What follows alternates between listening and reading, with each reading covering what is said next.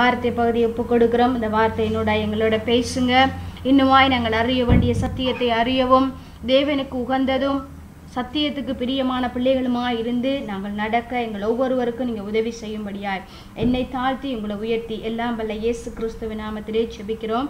எங்கள் ஜீவன் மிரக்கமுள்ள நல்ல பிதாவே ஆமேன் ஆமேன். இந்த நாளிலும் ரெண்டு தீமத்தையும் நான்காவது அதிகாரம் ஒன்றிருந்து ஐந்து வசனங்கள்.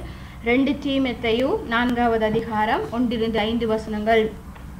நான் தேவனுக்கு முன்பாகவும் உயிரோடு இருக்கிறவர்களையும் மறித்தவர்களையும் நியாயம் தீர்க்க போகிற கத்தராகிய இயேசு கிறிஸ்துவுக்கு முன்பாகவும் அவருடைய பிரசன்னமாகுதலையும் அவருடைய ராஜ்யத்தின் சாட்சியாகவும் வைத்து கட்டளை இடுகிறதாவது. சமயம் வாய்த்தாலும் வாய்க்காவிட்டாலும் ஜாக்கிரதையாயிருந்து திருவசனத்தை பிரசங் பிரசங்கம் பண்ணு.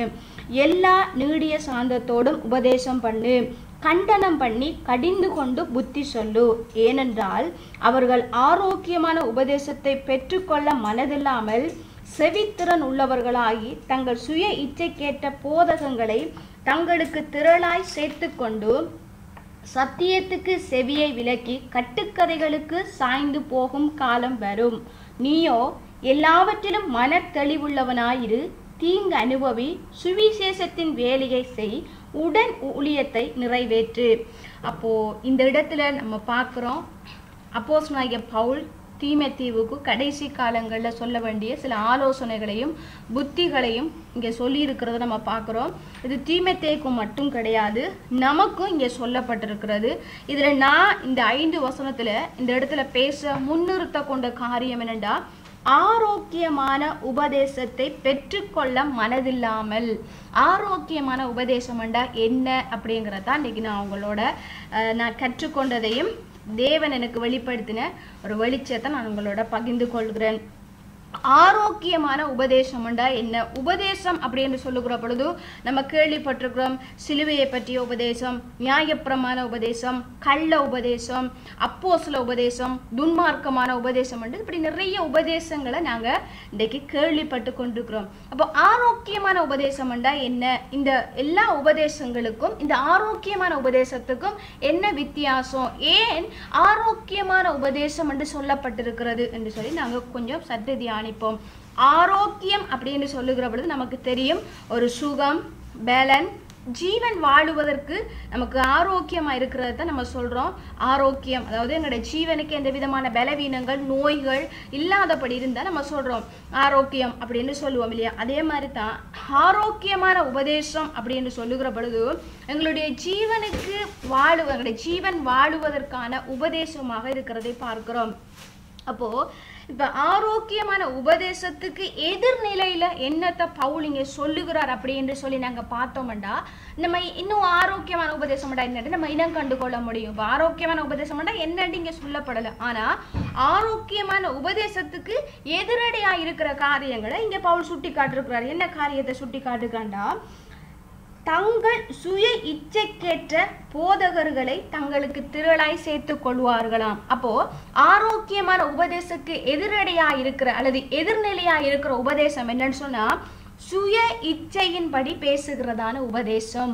சுய இச்சையின்படி பிரசங்கம் பண்ணுகிற பிரசங்கங்கள். அதாவது சுய இச்சை அப்படின்னு சொல்லுகிற பொழுது தேவனுடைய சத்தியத்தையோ அல்லது தேவன் வெளிப்படுத்துகிற காரியத்தை பேசாதபடி இதை பேசுவதனால அவர்களுக்கு ஆதாயம். இதை பேசுவதனால ஜனங்கள் சந்தோஷப்படுவாங்க. இப்படியான பிரசங்கத்தை நாங்கள் பிரசங்கித்தோம்டா ரொம்ப ஆசீர்வாதமான செய்தியாக இருக்கிறது. மனதுக்கு திருப்தியா இருக்கிறது. ஆண்டவரே பலப்படுத்தின மாதிரி இருக்குதுன்னு சொல்லி இன்றைக்கு அநேகர் வந்து கொமெண்ட் கொடுப்பாங்க. பிரசங்கத்தை கேட்கிற தேவனுடைய ஜனங்கள். அப்போ இப்படியாக தங்களுக்கு ஆதாயம் உண்டாகும்படியாக பேசுகிறது எப்படியா இருக்கிறது? ஆரோக்கியமான உபதேசத்துக்கு எதிர்நிலையா இருக்கிறது. அடுத்த காரியம் சொல்லுகிறார். என்னன்னு சொன்னா கட்டுக்கதைகளை சொல்லுகிறாரு. அப்போ கட்டுக்கதைகள் அப்படின்னு சொல்லுகிற பொழுது என்னன்னு சொன்னா இன்றைக்கு உலகத்துல நிறைய கட்டுக்கதைகள் இருக்கு என்றால் நாங்களும் ஒரு காலத்துல கட்டுக்கதைகளை கேட்டு அதுதான் சத்தியம் அதுதான் உண்மை அப்படின்னு நம்பி எங்களோட மனக்கண்கள் உருடாக்கப்பட்டு நாங்க இருந்துதான் இன்றைக்கு எங்களுடைய மனக்கண்கள் துறக்கப்பட்டு எது சத்தியம் என்று அறிகிற அறிவை நாங்கள் அடைந்தவர்களா இருக்கிறோம். இது தேவனால உண்டாக்கப்பட்ட ஒரு பாக்கியம். இது என்னால வந்தது கிடையாது. இது தேவன் எங்களுக்கு முன்குறித்து அவருடைய சத்தியத்தை எங்களுக்கு வெளிப்படுத்தி இருக்கிறார் அப்போ கட்டுக்கதைகள் இன்றைக்கும் கூட தேவனுடைய பிள்ளைகள் ரட்சிக்கப்பட்டவரன் சொல்லுகிறவர்கள் இன்றைக்கும் சில கட்டுக்கதைகளை சொல்லுகிறதை நம்ம பார்க்க முடிகிறதா இருக்கிறது. அதிகமாக செழிப்பின் உபதேசத்தை பிரசங்கிக்கிறவர்களுக்கு கூட இந்த கட்டுக்கதைகளை பார்க்க முடியும். அதாவது அஹ், தேவன் நம்ம கொடுத்தா தான் நம்ம தேவன் நம்மளை ஆசிர்வதிப்பாருங்கிறதுக்காக அநேக கட்டுக்கதைகளை சொல்லுவார்கள். அல்லது அவங்களோட சுய இச்சையின்படி ஒரு தேசத்துக்கு போயிட்டு ஊழியத்தை செஞ்சுட்டு வந்துட்டு சொல்லுவாங்க அப்படின்னு சொல்லி பார்த்தீங்கன்னு சொன்னா தேவனை நடத்தினார். தேவனுடைய கிருபை என்று சொல்லி தான் ஆரம்பிப்பார்கள். ஆனால் பின்னால அனைத்துமே கட்டுக்கதைகள் அங்க தொடராக வருகிறதை நம்ம பார்க்கிறோம். அப்படியாக தேவன் நமக்கு பேச கொடுக்கிற நேரம் அவருடைய சத்தியத்தை சத்தியமாக பேசுவதற்கு தான் எங்களை அழைத்திருக்கிறார். ஆனால் இன்றைக்குள்ள பிரசங்கி மரணிக்கிறார்கள் தங்களுடைய கட்டுக்கதைகளையும் தாங்கள் போனது வந்தது காப்பி குடிச்சது நின்றது இதெல்லாம் இன்றைக்கு சொல்லி கொண்டிருக்கிறாங்க. இப்படியாக தேவையில்லாத காரியங்கள் எங்கே பேசுகிறார்கள்? ஆரோக்கியமான உபதேசத்துக்கு எதிர்நிலையில இந்த கட்டுக்கதையில் வருகிறதை பார்க்கிறோம். இன்னும் ஒரு காரியத்தை நம்ம பார்க்க முடியும். இங்க சொல்லல. ஆனா பவுல் வந்து வேறு இடங்கள்ல குறிக்கப்பட்டிருக்கிறார். என்னன்னு சொன்னா நியாயப்பிரமாணத்தின் உபதேசம். இது ஆரோக்கியமான உபதேசத்துக்கு எதிர்நிலையில உள்ள உபதேசம். நியாயப்பிரமாணம் அப்படின்னு சொல்லுகிற பொழுது நமக்கு தெரியும் செய் செய்யாதே. இதை செய்ய வேண்டாம் இதை செய்யுங்கள் என்று சொல்லி உபதேசம் பண்ணுகிற உபதேசம் எப்படிப்பட்டதா இருக்குன்னா நியாயப்பிரமாணத்துக்கு உட்பட்ட பிரஸ் பிரசங்கமாக இருக்கிறது. நம்ம கலாத்தியர் மூன்றாவது அதிகாரத்திலே பத்தாவது வசனத்துல இந்த நியாயப்பிரமாண உபதேசத்தை குறித்து பவுல் இப்படியாய் சொல்லுகிறார். நியாயப்பிரமாணத்தின் கிரியைக்காரராகிய யாவரும் சாபத்துக்கு உட்பட்டிருக்கிறார்கள். நியாயப்பிரமாண புத்தகத்தில் எழுதியிருக்கிறவைகளை எல்லாம் செய்யத்தக்கதாக அவர்களில் நிலைத்திருக்கிறவன் எவனோ அவன் சபிக்கப்பட்டவன் என்று எழுதியிருக்கிறதே.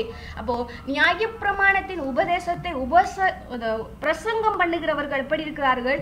அவர்கள் சாபத்துக்குள்ள இருக்கிறார்கள். அவர்கள் சொல்லுகிற பிரசங்கமும் சாபத்துக்கூடான. ஏன்னா ஏன்னா நியாயப்பிரமாணத்தின்படி யாராலுமே நீதிமானாக்கப்பட முடியவில்லை. நம்ம இதை வேதத்துல பவுல் வந்து ரொம்ப தெளிவா எழுதியிருக்கிறாரு. நியாயப்பிரமாணத்தின் கிரியையினால ஒருவராலும் என்ன செய்ய முடியல? நீதிமானாக்கப்பட முடியல. கலாத்தியர் மூன்று சாரி ரெண்டு பதினாறுல பாருங்க. நியாயப்பிரமாணத்தின் கிரியைகளாலேயே எந்த மனுஷனும் நீதிமானாக்கப்படுவதில்லையே. அப்போ நம்ம நீதிமானாக்கப்பட்டது எப்படி? எங்களுக்கு கொடுக்கப்பட்ட விசுவாசத்தை கொண்டு அவருடைய கிருபையினால இயேசு கிறிஸ்துவ ரத்தத்தினால மட்டும்தான் நாங்க நீதிமானாக்கப்பட்டிருக்கிறோமே தவிர எந்த ஒரு கிரியையை நாங்க செய்ததுனால நாங்க யாரும் நீதிமானாக்கப்படவில்லை. அப்போ நீ இதை செய்யறதுனால நீ நீதிமானாயிரலாம். நீ இதை செய்யறதுனால நீ பரிசுத்தவானாயிரலாம். நீ இப்படி செஞ்சேன அபிஷேகத்தை பெற்றலாம். நீ இப்படி செஞ்சேன பரலோகம் போயிடலாம் என்று சொல்லி உபதேசம் பண்ணுகிற உபதேசங்களும் எப்படி இருக்கிறதுன்னு சொன்னா இந்த ஆரோக்கியமான உபதேசத்துக்கு எதிரான நிலையில இருக்கிறதை நம்ம பார்க்கிறோம். இந்த நியாயப்பிரமாணத்தின் உபசேச உபதேசத்தை குறித்து பவுல் கலாத்தியர்கள் நிருபம் ரெண்டாவது மூன்றாவது அதிகாரத்தை நீங்க படிச்சீங்கண்டாலும் நல்லா விளங்கி கொள்ளலாம். அதே மாதிரி ரோமர்கள் நிருபத்துல மூன்றாவது நான்காவது அதிகாரங்களை நீங்க படித்தீங்கன்னு சொன்னா உங்களுக்கு இன்னும் அழகாக தெரியும். நியாயப்பிரமாணத்தின் உபதேசத்தையோ அல்லது நியாயப்பிரமாணத்தில் சொல்லப்பட்ட கிரியைகளை நாங்கள் செய்வதனால யாருமே நாங்கள் நீதிமானாக்கப்படவில்லை. அவருடைய இரத்தத்தினாலேயும் அவருடைய கிருபையினால எங்களோட விசுவாசத்தை கொண்டு நாங்கள் நீதிமானாக்கப்பட்டிருக்கிறோம் வேதம் எங்களுக்கு தெளிவாக சொல்லுகிறது. இப்படிப்பட்ட உபதேசங்களை உபதேசித்தாலும் இதுவும் ஆரோக்கியமான உபதேசம் இல்லை என்று நாங்கள் அறிந்து கொள்ளுகிறோம். அப்போ ஆரோக்கியமான உபதேசம் என்றால் என்னவாக இருக்கும்? நம்ம மூன்று காரியம் பார்த்தோம். இதெல்லாம் ஆரோக்கியமான உபதேசம் இல்லை என்று பார்த்தோம். தீமைத்தேவுக்கு முதலாவது தீமைத்தேவுல முதலாவது அதிகாரத்துல பவுல் பதினோராவது வசனத்தில் இப்படியாய் சொல்லுகிறார். நித்தியமான தேவனுடைய மகிமையான சுவிசேஷத்தின்படி எனக்கு ஒப்புவிக்கப்பட்டிருக்கிற ஆரோக்கியமான உபதேசத்துக்கு எதிரடியாயிருக்கிற மற்ற எந்த செய்கைக்கும் விரோதமாய் விதிக்கப்பட்டிருக்கிறது. அப்போ பவுலிங் ஒரு காரியத்தை சொல்லுகிறாரு. எனக்கு ஒப்புவிக்கப்பட்ட ஆரோக்கியமான உபதேசம் அப்படின்னு சொல்லுகிறாரு. அப்ப பவுலுக்கு ஒப்புவிக்கப்பட்ட உபதேசம் தான் எப்படியா இருக்கிறது? ஆரோக்கியமான உபதேசமா இருக்கிறது. அப்ப பவுல் என்ன உபதேசத்தை அங்க உபதேசித்தாரு? அல்லது அவர் உபதேசித்ததாக எங்களுக்கு அஹ், திருஸ்தாந்தமாக வேதத்துல எது எழுதி கொடுக்கப்பட்டிருக்கிறதுன்னு சொல்லி நம்ம சற்று ஆராய்ந்து பார்ப்போம்னு சொன்னா அவர் உபதேசித்த உபதேசம் சிலுவையை பற்றியதான உபதேசம். சிலுவையை பற்றிய உபதேசம் அப்படின்னு சொல்லுகிற பொழுது கிறிஸ்து கல்வாரி சிலுவைக்கு போகிறதுக்கு முன்பாக நான் யார்? நம்ம ஒவ்வொருத்தருமே நம்மளை குறித்து அறிய வேண்டிய காரியம். நாம யாரு? கிறிஸ்து கல்வாரி சிலுவைக்கு போனதுக்கு பிற்பாடு அவர் கல்வாரி சிலுவையில் என்ன செய்தாரு? அந்த கல்வாரி சிலுவையில் கிறிஸ்து மரித்ததுக்கு பிற்பாடு நாங்கள் யாரா இருக்கிறோம் இது சிலுவையை பற்றிய உபதேசமாக இருக்கிறது. அப்ப இதை குறித்து தான் பவுல் பிரசங்கம் பண்ணி கொண்டிருக்கிறார். சொல்லுகிறாரு நாங்கள் கி- சிலுவையிலே அறையப்பட்ட கிறிஸ்துவை அல்லாமல் வேறொன்றையும் குறித்து நான் பிரசங்கம் பண்ணவில்லை. வேறு சிலர் வேறு கிறிஸ்துவை பிரசங்கம் பண்ணுகிறார்கள் என்றெல்லாம் பவுல் வந்து சுட்டி காட்டுறதை பார்க்கிறோம். அப்போ பவுல் உபதேசத்தை உபதேசம் என்ன? சிலுவையை பற்றிய உபதேசத்தை அவர் உபதேசித்தார். இன்னும் கொஞ்சம் தெளிவாக சொல்லணும்னா கிறிஸ்துவை பற்றியதான உபதேசம். அப்போ நிறைய பேர் கேட்குறப்ப பழைய ஏற்பாடுல இருக்கிற வசனம் எல்லாம் எங்களுக்கு தேவையில்லையா? அதுவும் வேதம் தானே அதுவும் சத்தியம் தானே அப்படின்னு சொல்லுகிறாரு. பழைய ஏற்பாடுல சொல்லப்பட்ட அனைத்தும் சத்தியத்துக்கு நிழலாயிருக்கிறது. எது சத்தியம்னா கிறிஸ்துவுக்கு நிழலாயிருக்கிறது. கிறிஸ்து வந்து இந்த கல்வாரில செய்ய வேண்டிய அனைத்து காரியங்களுக்கும் நிழலாட்டமாக கொடுக்கப்பட்டிருக்கிறது. அவைகள் எல்லாமே கிறிஸ்து கல்வாரி சிலுவையில செய்து முடித்திட்டாரு. அப்போ செய்து முடித்திட்டார். அது இறந்த காலத்தை குறிக்கிறது. நிகழ்காலத்துக்குரிய காரியத்தை தான் நாங்கள் அறிய வேண்டியவர்களாக இருக்கிறோம். அப்படியாக கிறிஸ்துவை பற்றிய உபதேசம் ஆரோக்கியமானதாக இருக்கிறது? அல்லது கிருபையின் உபதேசம் அப்படின்னு சொல்லுவார்கள். அந்த கிருபையின் உபதேசம் அப்படின்னு சொன்னால் என்னென்னு சொல்லி பார்த்தீங்கன்னு சொன்னால் எங்களுடைய எந்த ஒரு கிரியையினாலையும் நாங்கள் தேவனுடைய ராஜ்யத்தை அடைய முடியாது. அவருடைய கிரியை நான் அவர் அவர் செய்த கிரியையை நாங்கள் விசுவாசிப்பதனால அவருடைய கிருபையை கொண்டு நாங்கள் அதை அடைகிறோம்ங்கிறதை அங்கே சுட்டி காட்டப்படுகிறது அப்போது இந்த கிருபையின் உபதேசம் அதாவது கிருபையினால தான் எங்களுக்கு இந்த இந்த பாக்கியங்கள்லாம் கிடைக்கப்பட்டது என்று சொல்லுகிறது ஆரோக்கியமான உபதேசமாக இருக்கிறது. அல்லது விசுவாச பிரமாணம் அப்படின்னு சொல்லுவாங்க. விசுவாச பிரமாண உபதேசங்களை நாங்கள் உபதேசிக்கிறோம். கிரியா பிரமாணங்களை அல்ல நாங்கள் விசுவாச பிரமாணங்கள் அதாவது கிறிஸ்து கல்வாரில செய்து முடித்த அனைத்து காரியங்களையும் நாங்கள் விசுவாசிப்பதனால் அந்த தேவ நீதியை அடைகிறோம் என்று சொல்லி பிரசங்கம் பண்ணுகிறது. ஆரோக்கியமான உபதேசமா இருக்கிறது. அதாவது சுய நீதியையோ மனுஷனுடைய பலத்தையோ மனுஷனுடைய ஞானத்தையோ சொல்லி பிரசங்கம் பண்ணாதபடிக்கு கிறிஸ்துவை சார்ந்து அவருடைய கிருபையை சார்ந்து எங்களுடைய விசுவாசத்தை கொண்டு உபதேசிக்கப்படுகிற உபதேசம்தான் ஆரோக்கியமான உபதேசமாக இருக்கிறது என்று பார்க்கிறோம். இதை நாங்கள் விசுவாசிக்கிறதுனால தான் நாங்கள் சுகத்தை பெற்றுக்கொள்கிறோம் பலத்தை பெற்றுக்கொள்கிறோம் ஜீவனை பெற்றுக்கொள்கிறோம். ஏன்னா நம்ம ரோமர்கள் நிருபத்திலே முதலாவது அதிகாரத்திலே பதினாறாவது வசனத்திலே பார்க்கிறோம். இப்படியாய் சொல்லப்படுகிறது. கிறிஸ்துவின் சுவிசேஷத்தை குறித்து நான் வெக்கப்படேன் முன்பு யூதரிலும் பின்பு கிரேக்கரிலும் விசுவாசிக்கிறவன் எவனோ அவனுக்கு ரட்சிப்பு உண்டாகுவதற்கு அது தேவ பலனாயிருக்கிறது இது கிறிஸ்துவை பற்றிய உபதேசம். சிலுவையை பற்றிய உபதேசம் தான் ரட்சிக்கப்படுகிற எங்களுக்கு நம் ஒவ்வொருவருக்குமே அது தேவ இருக்கிறது என்று சொல்லி அங்க பவுல் சொல்லுகிறதை பார்க்கிறோம்.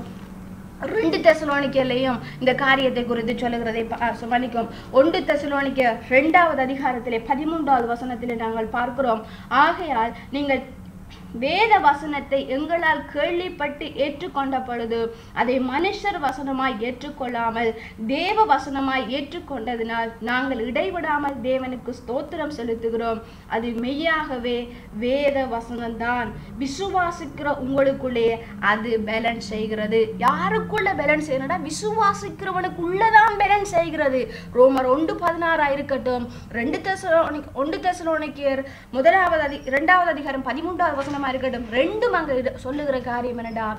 விசுவாசிக்கிறவனுக்கு தேவனுடைய வசனம் அங்கே பேலன்ஸ் செய்கிறது என்று சொல்லி நம்ம பார்க்கிறோம். இதை குறித்து நாங்கள் உபதேசிப்போமாக இருந்தால் நாங்கள் ஆரோக்கியமான உபதேசத்தை உபதேசிக்கிறவர்களாக இருக்கிறோம். இந்த ஜீவனை தான் என்ன செய்யறாரு சொன்னா பவுல் மன்னிக்கும் யோவான் சொல்லுகிறார் உண்டு யோவான் மூன்றாவது அதிகாரம் பதினாறாவது வசனத்துல சொல்லுகிறாரு எங்கள் சகோதரனுக்கு நாங்கள் கடனாளியா இருக்கிறோம். எதற்கு கடனாளியா இருக்கிறோம்டா? அவர் தம்முடைய ஜீவனை தமக்காக கொடுத்ததுனாலேயே அன்பு இன்னதென்று அறிந்திருக்கிறோமே. நாமும் சகோதரனுக்காக ஜீவனை கொடுக்க கடனாளியா இருக்கிறோம். அப்போ ஆரோக்கியம் வந்துட்டா ஜீவன் வந்துடும் அந்த ஜீவனுக்குரிய சத்தியம் எங்களுடைய ஜீவன் பெரும்படியான அந்த சத்தியத்தை எங்களுடைய சகோதரனுக்கு நாங்கள் சொல்லுவதற்கு நாங்கள் கடனாளியா இருக்கிறோம் சொல்லி அங்க வேதம் சொல்லுகிறதை பார்க்கிறோம். இந்த ஆரோக்கியமான உபதேசத்துல எங்கேயுமே சுயம் வெளிப்படாது. அவர்கள் சுயத்துக்கு இடம் கொடுக்காதபடி தேவனுடைய சித்தத்துக்கு அங்க இடம் கொடுத்து அங்க நடத்தப்படுகிறதை நம்ம பார்க்கிறோம். யோவான் பன்னிரெண்டாவது அதிகாரத்திலே நாற்பத்தி ஒன்பது ஐந்தாவது வசனத்திலே பார்க்கிறோம்.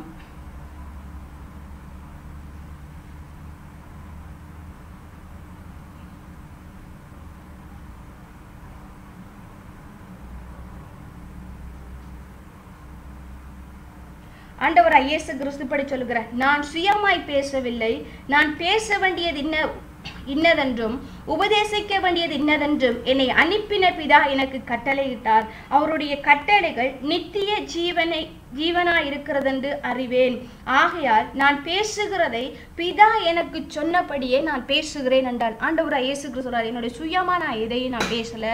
என்னை அனுப்பினவர் எனக்கு கட்டளையிட்ட சத்தியத்தை நான் உங்களுக்கு சொல்லுகிறேன் என்று ஆண்டவராய் இயேசு கிறிஸ்து அப்போ தன்னுடைய பிதாவினுடைய சித்தத்தை நிறைவேற்றும்படியாக வந்த கிறிஸ்து என சொல்லுகிறார்? நான் உபதேசிக்கிற உபதேசங்கள் யாருடையது? என்னுடையது கிடையாது. என்னை அனுப்பினவர் எனக்கு கட்டளையிட்ட காரியங்களை நான் உங்களுக்கு பிரசங்கிக்கிறேன் இப்போ இன்னைக்கு பிரசங்கிக்கிற பிரசங்கி மாறு. என்னையும் சேர்த்து தான் சொல்றேன். நாங்க யாருடைய பிரசங்கத்தை பிரசங்கிக்கோம்? தேவன் எங்களுக்கு வெளிப்படுத்தின காரியத்தை பேசுகிறோமா? இல்லை நாங்கள் சுயத்தை ஆதாயப்படுத்தி கொள்ளும்படியான வசனங்களை நாங்கள் பேசுகிறோமான்னு சொல்லி பார்ப்போம். ஆனால் ஆண்டவர் அஹ், தன்னுடைய பரிசுத்த ஆவியானவர் குறித்து வெளிப்படுத்தும் பொழுது என்ன காரியத்தை சொன்னார்டா சத்திய ஆவியானவர் வருகிற பொழுது சகல சத்தியத்துக்குள்ளே உங்களை நடத்துவார். அவர் தம்முடைய சுயமாய் பேசாமல் தாம் கேள்விப்பட்ட யாவற்றையும் சொல்லி வரப்போகிற காரியங்களை உங்களுக்கு அறிவிப்பார். அப்போ கத்தருடைய சத்திய ஆவியானவர்களுக்குள்ள வருகிற பொழுது சத்தியத்துக்குள்ள உங்களை நடத்துகிறது மட்டும் இல்லாமல் என்ன செய்வாரா? அவருக்கு சொல்லப்பட்ட சத்தியத்தை அவர் அறிந்த சத்தியத்தை எங்களுக்கு போதிப்பார் என்று சொல்லப்படுகிறதை பார்க்கிறோம். அப்போ தேவன் நம்முடைய தேவன் எங்களுக்கு அவரை திருத்துவமாக வெளிப்படுத்தியிருக்கிறார். பிதா குமாரன் பெர்சுத்தாவியா வெளிப்படுத்திருக்கார் இவங்க யாரும் பிரிந்தில்லை. இவங்க எல்லாமே வந்து என்ன செஞ்சாங்க ஒருவரோடு ஒருவர் இணைக்கப்பட்டவர்களாக மூன்று பேருமே ஒரே மாதிரி இருக்கிறாங்க.